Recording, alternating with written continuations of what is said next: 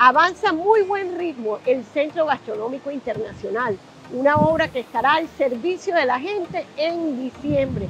Será el plan obligado a gozar de la mejor gastronomía internacional en este punto, en una infraestructura abierta al mar, donde podrán observar el emblemático muelle de puerto.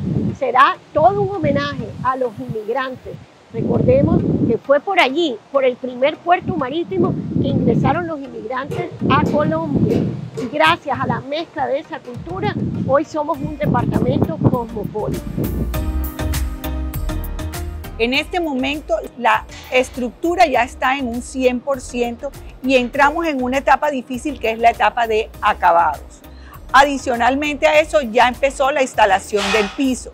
En, en la segunda planta ya tenemos la instalación de todas las estructuras metálicas, las cuales deben estar terminadas a finales del mes de septiembre.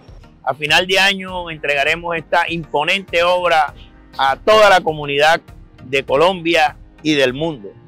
Gastronomía internacional, locales, rampas de acceso, 6.400 metros cuadrados acondicionados para el disfrute, para la integración, para mostrar a Puerto Colombia ante Colombia y ante el mundo.